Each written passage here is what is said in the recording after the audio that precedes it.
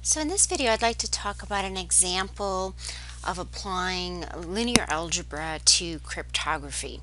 And so in the example here we have uh, two people. So let's imagine that you are over here and you have a secret message that you want to send.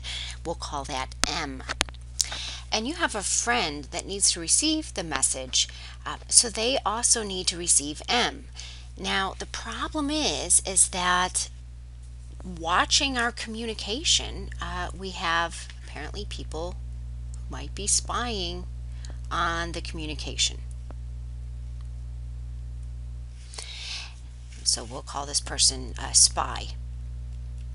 Now, you don't want the spy to know the message, and so what you don't want to do, you don't want to just send your message across and then the spy would be able to interpret your message. So what you want to do is you want to encode the message. So you want to send what we call a coded message.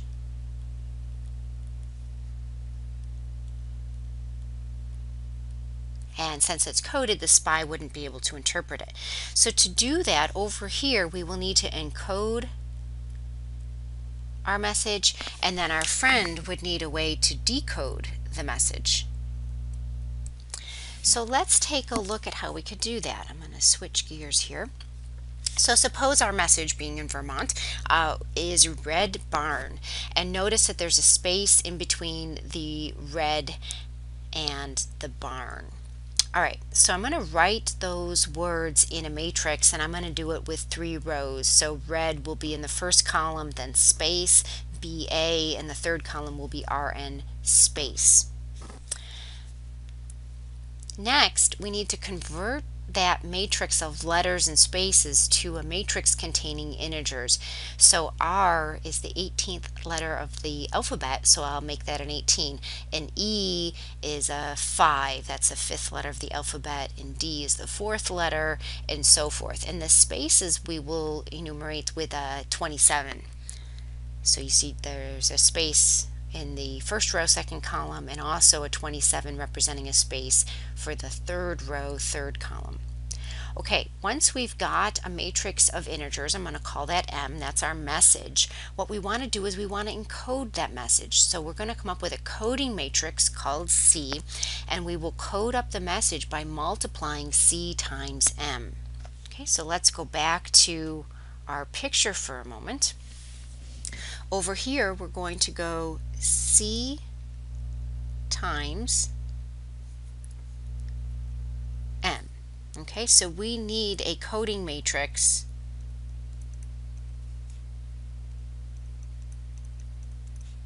C. All right, and what we'll do is we'll multiply C times M, and that's what we send out across our lines of communication, is we send out this C times M.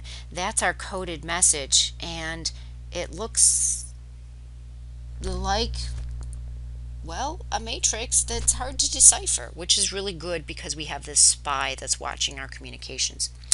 Okay, so our friend over here will need to know what the coding matrix is, um, and the friend to decode the matrix will multiply a C inverse times this coded message.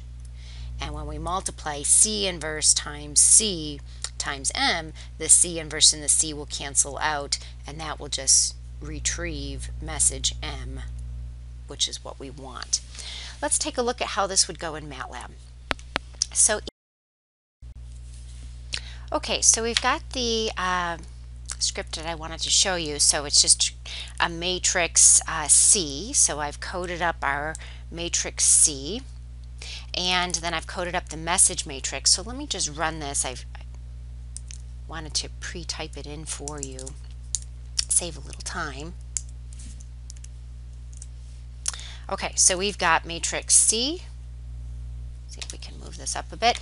We've got matrix M, so those are already typed in, and now we send out the coded message, I'll call it coded message is going to be C times M.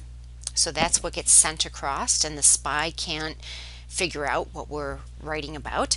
Um, and then our friend to decode the message, so let's call this de the decoded message, that would be the inverse of C times this coded message. And they retrieve, again, red space barn.